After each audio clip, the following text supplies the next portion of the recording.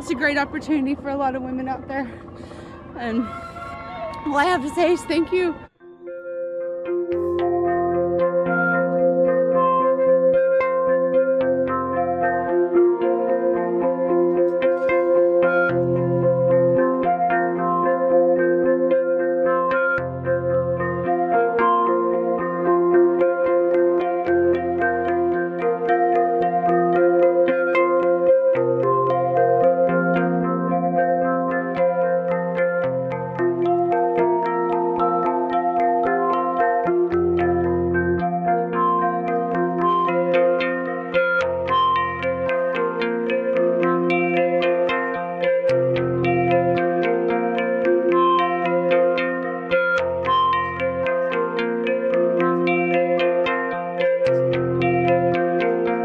It's uh, such an honor to be with my fellow Oklahomans outside the walls of Eddie Warrior Correctional Center.